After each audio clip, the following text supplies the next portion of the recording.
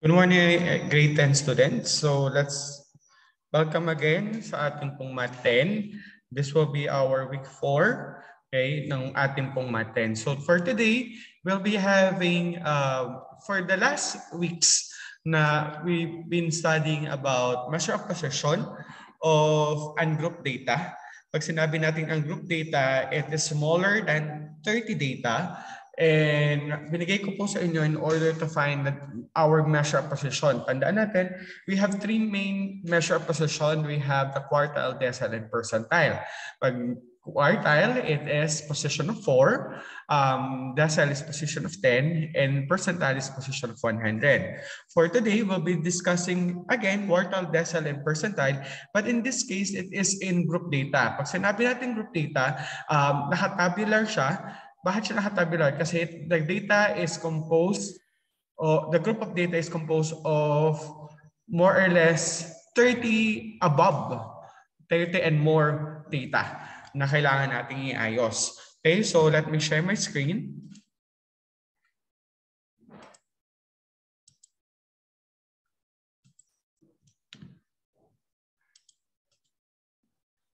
May po nakikita po ang screen? Yes po. Okay po. So now we have the measure of position for group data. Okay. So again, there are three. We have quartile, decile, and percentile. But as you may see, um, halos magkakapareho naman ang um, kanyang formula. Maliban lang dito sa Kn over 4, Kn over 10, and Kn over 100. But the same, it's LB plus the quantity uh, negative CFB over FDK times I. Okay, paliwanag natin isa-isa yan. So, ang unang-una natin, LB is the lower boundary of the QK class or DK class or PK class. Depende kung saan natin makikita. Later, we'll be studying about the lower boundary. Paano natin makukuha yung lower boundary. Then, we have N stands for, pare-pareho naman yan, is the total frequency, kung ilan yung data na meron tayo. CFB is the lower community, uh, the cumulative frequency of the class before our D, DK, QK, or PK class. Your frequency of QK, or C, uh, frequency of DK, or frequency of PK class. I stands for the class interval, or ilan ba ang laman per step. And K stands for pang ilan ba yung hinahanap natin. So, pare-pareho po ang formula niyan except for this one which is KNF4 for quartile, KN over 10 for decile, and KN over 100 for PK. So, let's try to do one. So, I have here um, the scores na nakatabular na. We have 21 to 25, 26 to 30, 30 to 35, 46 to 40, 41 to 45, and 46 to 50, where we have the frequency 6, 12, 9, 11, 8, and 4. And we are to look for quartile 1, quartile 2, decile 3, decile 7, percentile 20, and um, percentile um, 85. So, saan tayo kailangan magsimula dyan?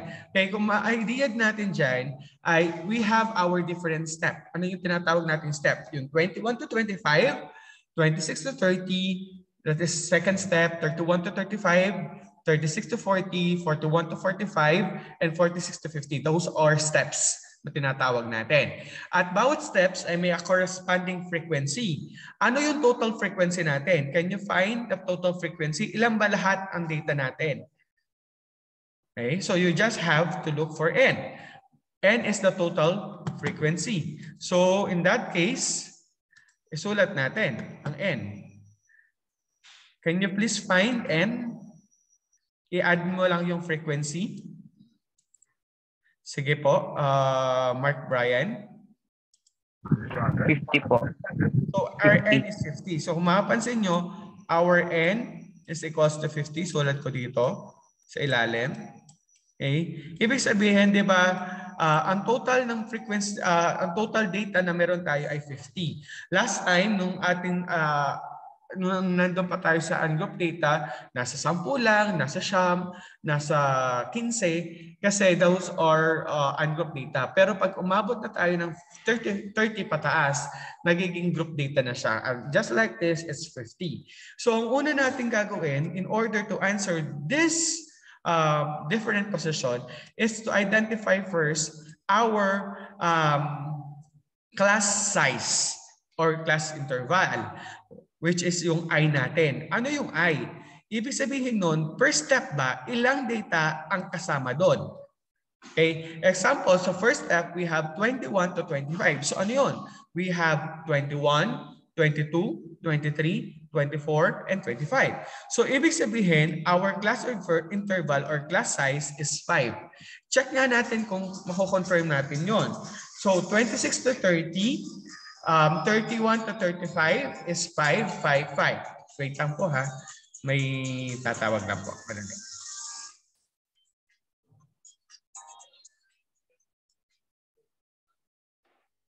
Yes, yes po. Yes po. Good morning po.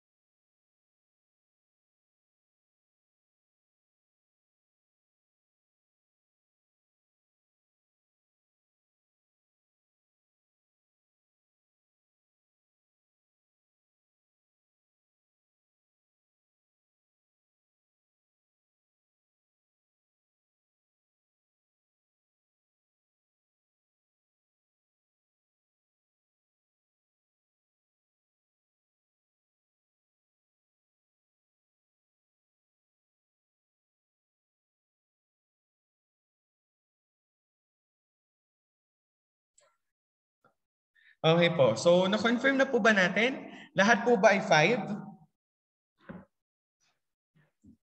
26 to 30, ilan po ang laman? Lima po. Lima. 31 to 35, lima. 36 to 40, 41 to 45, and 46 to 45, uh, 46 to 50. Lahat yon lima. So, ibig sabihin, our class interval is 5. Please take note of that kasi yan ang mga importante.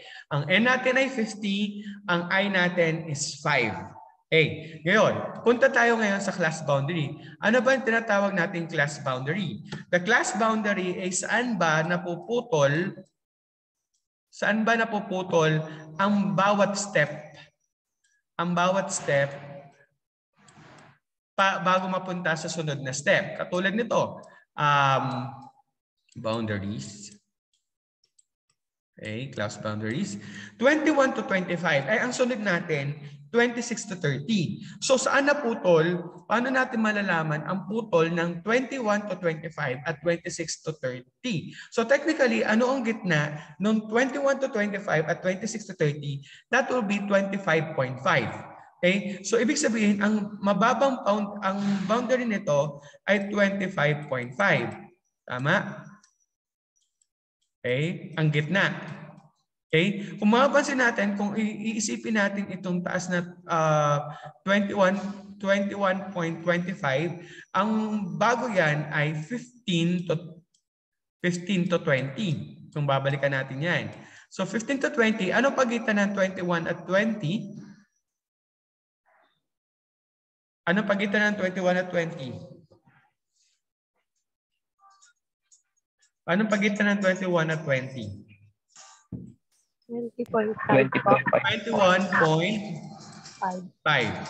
Okay, talang po ha. So yan po ang ating pong lang.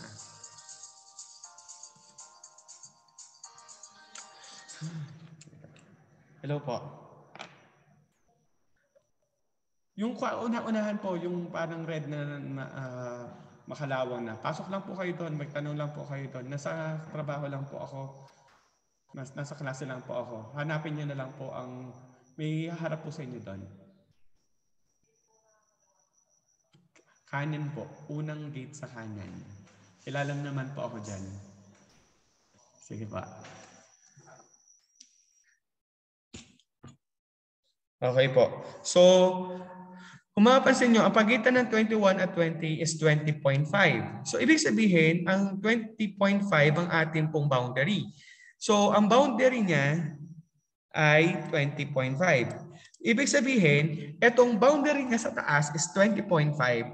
Ito ay magiging upper boundary ng mas mababang level at lower boundary nung sunod na level. So this is 20.5 to 25.5.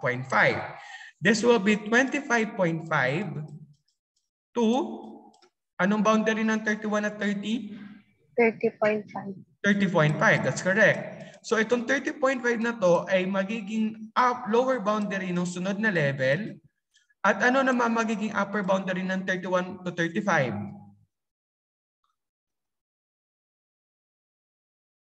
Anong pagitan ng 35 at 36? 35.5. 35.5. That's correct. So, ano, this will be the lower boundary nung sunod na level, 35.5. Ano magiging upper boundary nito? 40.5. That will be 40.5. Diba? So, this is also 40.5. Ano ang upper boundary nito? 45.5. That's correct. That's 45.5. And this will also be 45.5. Eh dito, ano to? Ano yung sunod na number dito sa palagay niyo sa taas? That will be 51. So anong pagitan ng 51 at 50? 50.5 po. That's 50.5. So yeah, nakita na natin ang mga boundaries. But we are more concerned on the lower boundary of each step. So ang susulat natin dito is the lower boundary. So this will be 20.5, 25.5, Sulat na natin ng ano ng text ha. This will be 30.5. This will also be 35.5.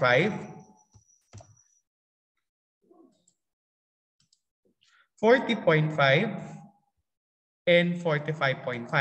So yan po ang kailangan natin. Okay? So clear po tayo sa boundaries kung paano nakuha. Delete ko muna to ha. So this will be 25.5. And this is 20.5. Any question po sa boundaries kung paano nakuha? Clear po tayo? No question? Wala po. Now, after finding the class boundaries, we are now concerned with the cumulative, cumulative frequencies. Paano natin nahanapin ang cumulative frequencies? Okay? Frequencies. Ang from the word cumulative ay unti-unti natin i-add starting sa pinakamababa. So, start tayo with the frequency. Tingnan natin, tingnan natin mga frequency natin ha. We have 4, 8, 11, 9, 12, 6. Kaninong step, anong step ang pinakamababa? Anong step ang pinakamababa? For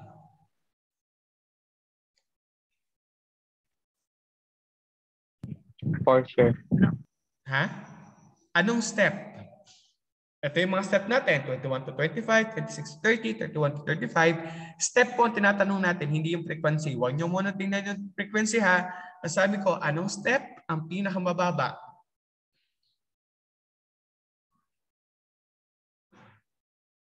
It is 21 to 25. Diba? Ito ang pinakamababa, 21 to 25. Then 26 to 30, 31 to 35, 36 to 40, 41 to 45, 46 to 50. So, ibig sabihin, doon tayo sa pinakamababa magsisimula, which is 21 to 25. Ano ang frequency ni 21 to 25? 6 po. 6. Po. So ilagay natin sa cumulative frequency ay 6. Ngayon, yung 6 na yan, idadagdag ko yan sa frequency ng sunod na level. Ano yung frequency ng sunod na level? 12 po. 12. So 6 plus 12, 18 po. 18. Idadagdag ko ngayon sa 18 na yun yung sunod na number. Ano yung sunod na number? 9 po. 9. So 18 plus 9, 27. 27. Ngayon, idadagdag ko yung sunod na number. 27 plus 11. 11 po. 11. 27 plus 11, 38 po. 38. Ngayon, idadagdag ko yung, 30, yung 38 dun sa sunod na number. 46 po. 46. At uh, 46, idadagdag ko dun sa sunod na number. 50 po. That is 50. Okay po, kung mapapansin nyo, nagpa, nagpareha siya sa n, which is 50. Okay, so clear na tayo.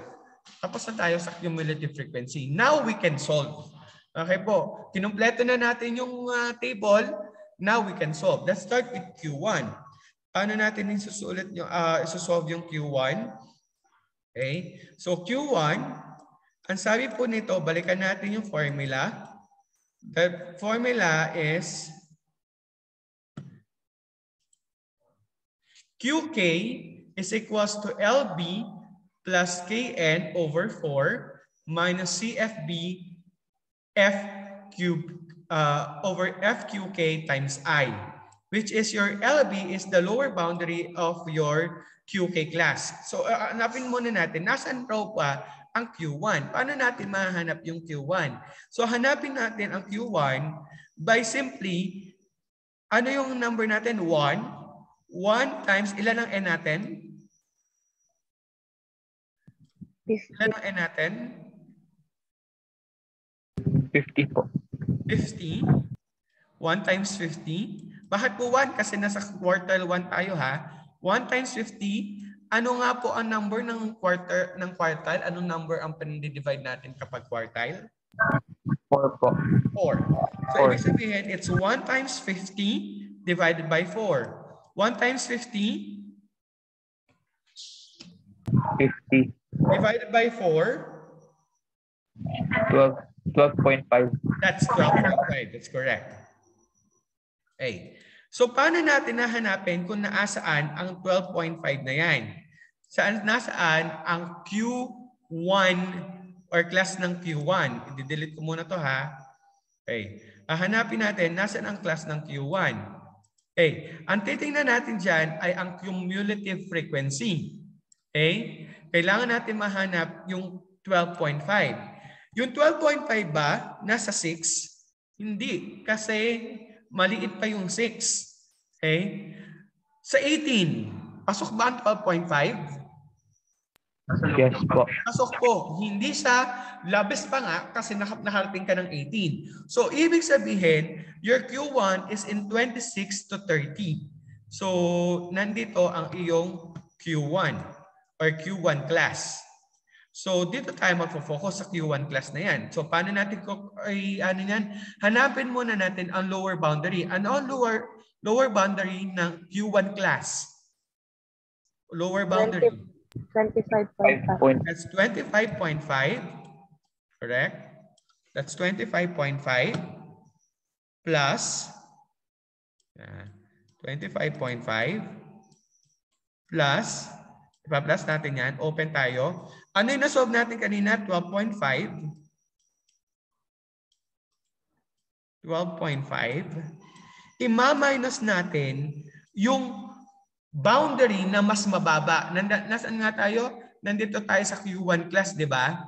Which is 26 to 30. Ano yung community community frequency na mas mababa kung nasaan tayo? Di ba nasa 18 tayo?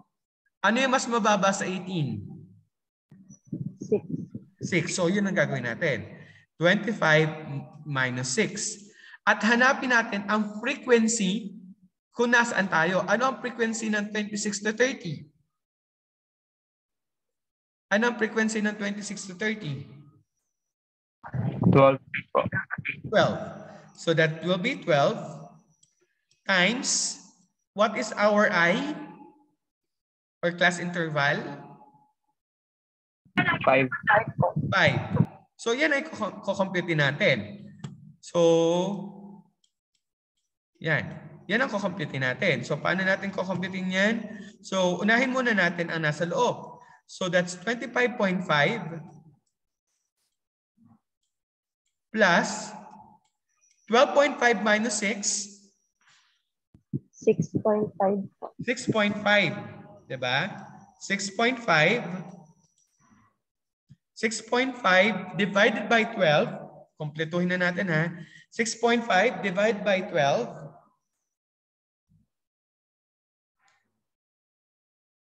That will be 0.541667. Ita-times natin sa 5. So that will be 2.7. 2.7 po. Okay po, punta tayo sa two decimal places. So that is 2.71. 2.71. Okay? So 2.71 plus 21.5. 2.71 plus 25.5. So our Q1 will be 28.21. Correct. 28.21. That will be 28.21. Hey, let's have another one para po maliwanag. Clear natin to. Okay? Let's try Q2. Hanapin natin ang Q2. Okay. Ang una natin gagawin ay hanapin kung nasaan ang Q2 class. Paano natin nahanapin ang Q2 class? Punta tayo sa tabi muna. So that will be 2 times 50 over 4. Kasi quarter, uh, quartile 2 times the, uh, our total frequency which is 50 divided by 4. 2 times 50, 100.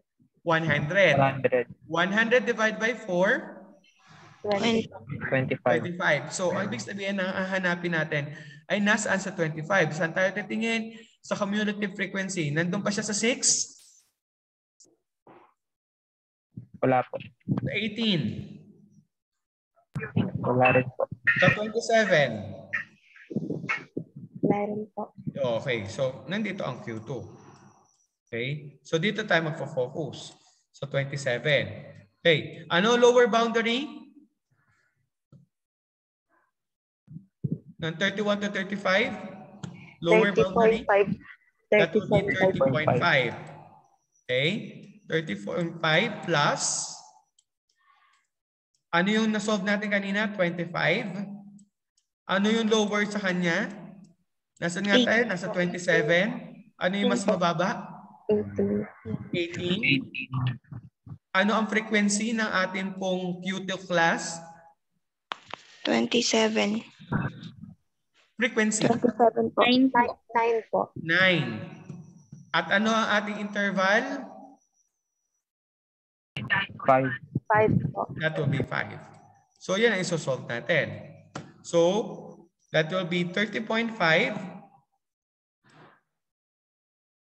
Mahirap pagsulat.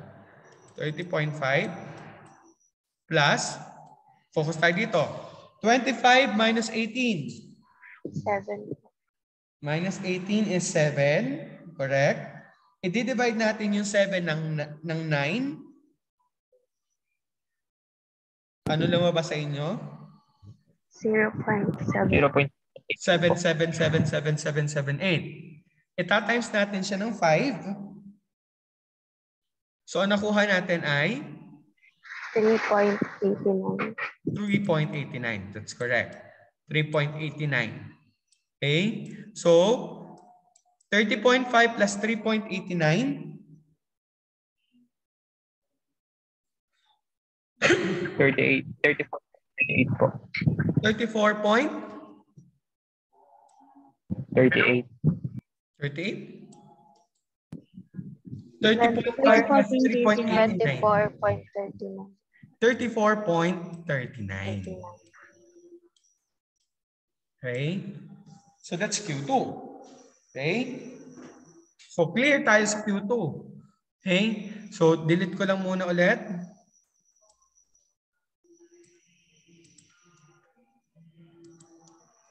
Okay. Basta mag- magawa mo naman yung table, madali na ang lahat. Ang ah, kaya kailangan natin simulan lang sa table. Let's try our D3. Nahanap natin ang D3. Okay? So we have our D3. So hanapin muna natin kung nasan si D3. So that is D3 that will be 3 times Anong N natin? 3 times 50. 3 times 50 over dito, D. Anong pang over natin? 10 po. That will be 10. That's correct. So that's 3 times 50 150. 150. divided by 10. 15. So ang hahana- hahanapin natin ay asan si 15. Tandaan, ang hahanapan natin ay cumulative frequency. So saan siya papatak? Sa 18 po. Sa 18, that's correct. So this is our D3 class. Okay, D3. So ano ang lower boundaries niya? 25.5. Correct, 25.5. Plus, ano ang ilalagay ko dito? 15 15. minus yung mas mababa sa kanya. Nasaan tayo? Nandito tayo. Ano yung cumulative na mas mababa sa kanya? 6 po. 6. That's correct. Ano ang frequency ng D3? 12 po. That will be 12 times 5. 5. So that will be 25.5 plus 15 minus 6, 9. 9 po. that will be 9. 9 po. 9 divided by 12, 0.75. 0.75 times 5, 3.75. 3.575. So i-add lang natin yan. So that will be equal to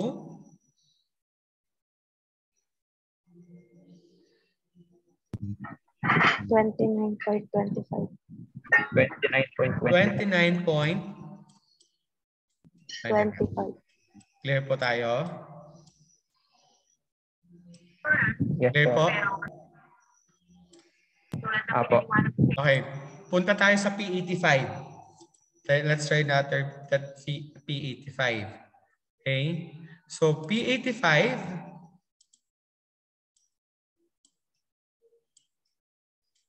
P85.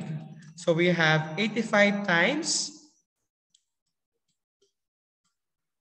50. 50 divided by 100. 100 kasi percentile tayo. So ano magiging sagot diyan?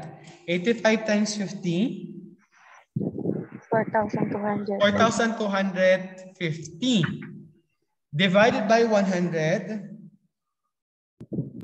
42. 42.5 po. that will be 42.5. So hahanapin natin as ang si 42.5. So cumulative frequency, Nasa 40 po. 46. nasa 46. So this is our P85. Okay. So ano lower boundary niya? 40.5 40.5. po. Correct. It's 40.5. Plus, ano yung nakuha natin kanina? 42.5. Minus, ano yung mas mababa? Nandito tayo sa 46. 38. 38. Ano ang frequency niya? 8 po. That will be 8 times 5. So that will be 40.5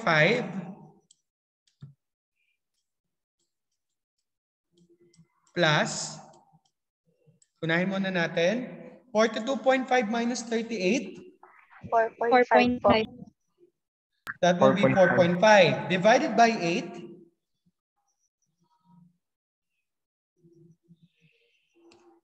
Four point five 0.50. divided by eight, 0.56. 0.5625. Tama? 0.5625. The times 5, 2.81. 25. 2.81. So 2.81 na lang tayo. 2.81, so 40.5 plus 2.81,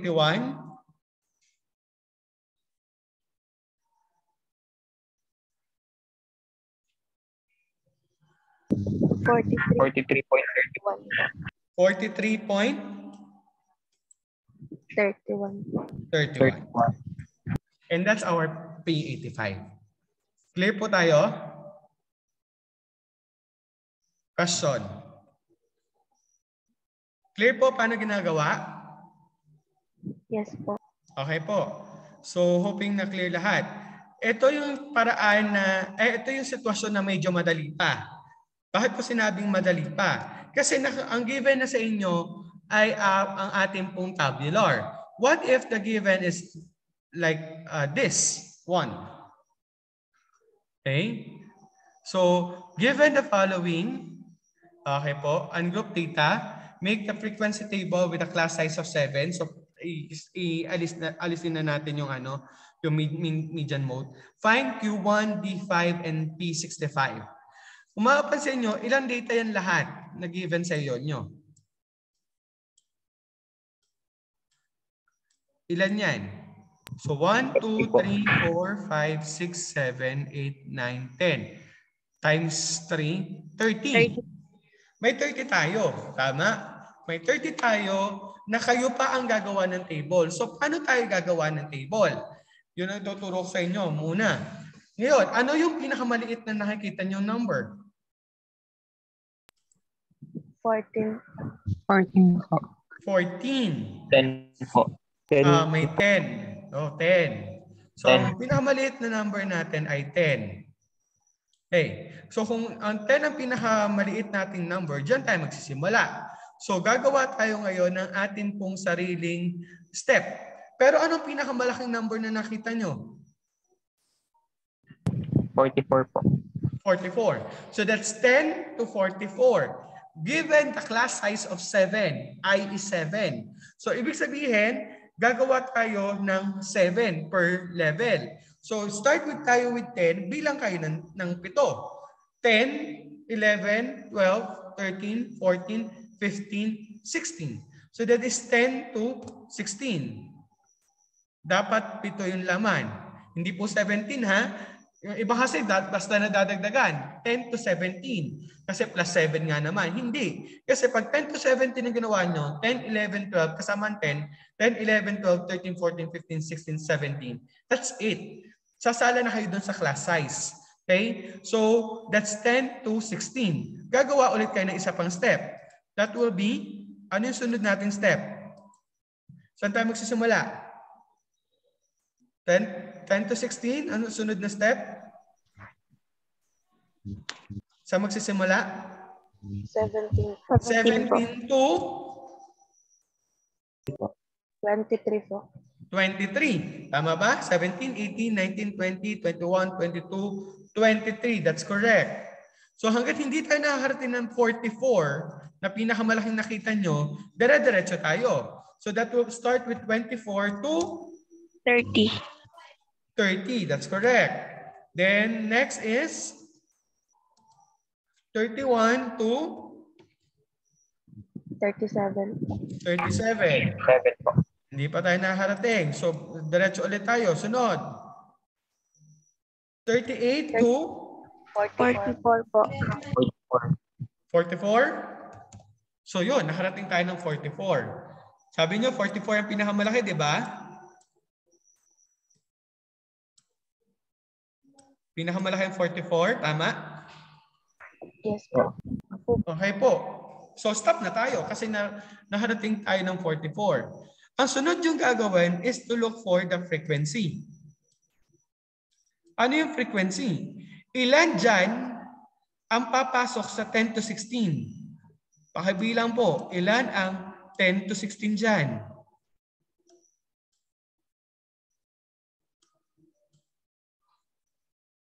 Four po. Ano, ano yon? We have 16, 14. 14, Five po, sir. Five po. ano 16, pa? 16, tas 10. 10, 16, 16. Meron pa ba? Wala na po. So, lima. Eh, bawal kayong malito dyan. Kasi pag nagkamali kayo ng isa dyan, wala na lahat ng pinagtrabahuhan nyo. So, this will be 5. Pasok tayo sa 17 to 23. Ilan yan? Five po. Ano yon? 17 to 23, 18, 20, dalawa na yon. 19, tatlo. 19 ulit, apat. 20, lima. At 22, anim. So there is 6. No, mali ang bilang natin. Okay? So this is 6. Okay, 24 to 20, 24 to 30. 24 to 30. Ilan?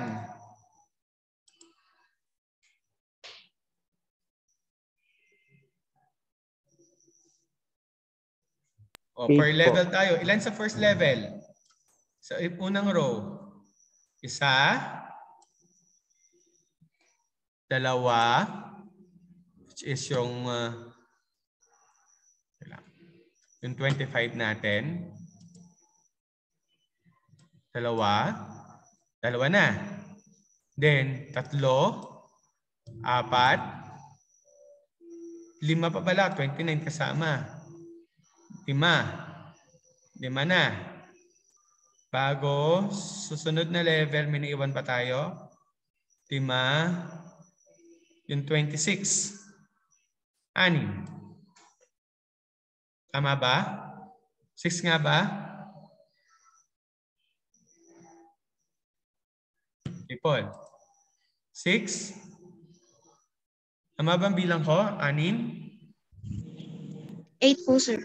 Po, sir. Ah, may Eight 30 po, pa pala. May 30 pa pala. Pwede pala ang 30. So, 30.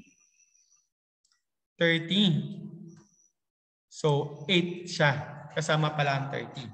So, this is 8. Okay. Pa- ah, Okay. Punta tayo sa 37 to 38, 37 to 31 to 37. So 37, 33, 33 ulit, tatlo, 36 kasama, apat, 35 kasama, lima, 34. Meron pa ba?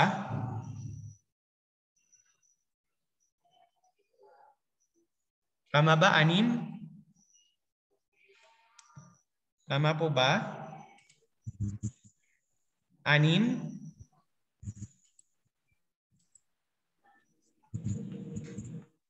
Opo. Okay. Last. 38 to 40. So lahat ng walang ano. 1, 2, 3, 4, 5. So lima. So tama ba ang 30 yan? I-add nyo nga. Kapag nag-30 yan, ibig sabihin nasa tamang track tayo. So ilan Tama yan?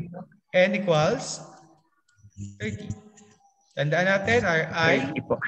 i equals pa- 7. So, babalik tayo dun sa ginawa natin kanina. Okay? Na find the lower boundary. So, alam natin to ay 9. So ang lower boundary, lower boundary boundaries nito,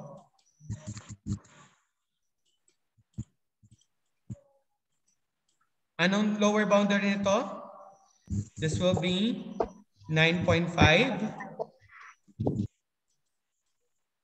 Anong pagitan ng 15 at se- 16? 16.5. 16.5. Anong pagitan ng 24 23? 23.5. 23.5. Pagitan ng 31 at 30? 30 po. 30.5. At 38 at 37? 37. 37.5. Okay? So, in that case, sulat na natin siya dito ng maayos that we have 37.5. We have 30.5, 30.5. We have 23.5. We have 16.5 and we have 9.5. Ano sunod natin? Commutative frequency, CF. So magsisimula tayo sa baba. Anong unang CF natin? Anong frequency ang pinakamababa? Pinakamababa? So tingin tayo sa frequency. 5. 5 plus ano y- 5 plus ano to? Six. 6 that will be 11. 11. 11 plus 8. that will be 19. plus Nine. 25 po.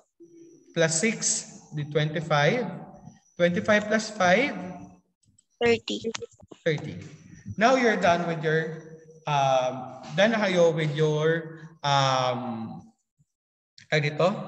Done na kayo with your table. Now you can solve for Q1, D5 at P65. Let's write the D, the D5.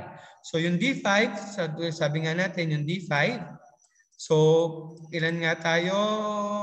So that will be 5 times ilan nga ang N natin? 30 po. 30. Third. Since this is D, anong pang ilalim natin? 10 po. Ten po. 10. So that's 5 times 30.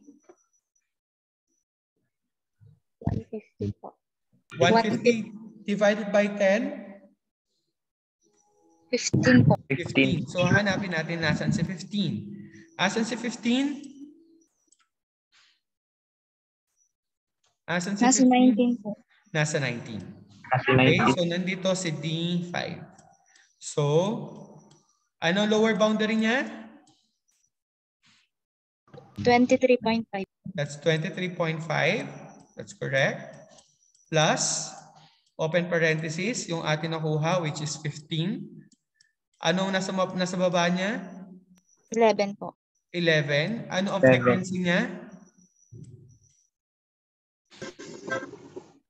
Eight. 8 po. 8. Ano ang, ano ang class interval niya? 7. That Seven. will be 7. Okay? So that's 23.5 plus 15 minus 11, 4 po. 4 divided by 8 Point five po. times 7, 3.5 po. 3.5. So that's 23.5 plus 3.5, 27. 27. So our D5 is 27. Okay, and so on and so forth. Clear po tayo? Nagets po? Yes po. Okay po. So in that case, uh, hoping na maliwanag po ang gagaw ang ginagawa po natin. Okay? Yan. So, question. Question po? Baka may gustong liwanagin before we end this this ano meeting. May question po ba? Clear po tayo sa ating ginagawa? Yes po. Okay po. So that is how we solve for the measure position of group data. So again, kailangan nyo munang hanapin kung nasan yung class bago tayo magdiretso sa ating pong solusyon. But if it happened that the given is ungroup data na kailangan nating i-table, you are given your class size. So look for the lowest, gawa tayo ng step, then ihanapin natin ilan ang papasok sa bawat step, then saka lang tayo magla-class boundaries, then commutative frequencies. Then after finding a cumulative, uh, commutative frequency, you can now proceed with your solution. Okay, so thank you very much for attending. I'll be sending your SITworks on your GC. Thank you, sir. Goodbye po. Bye-bye. Thank you po. Po. Sige po. Sir. Bye. Goodbye po.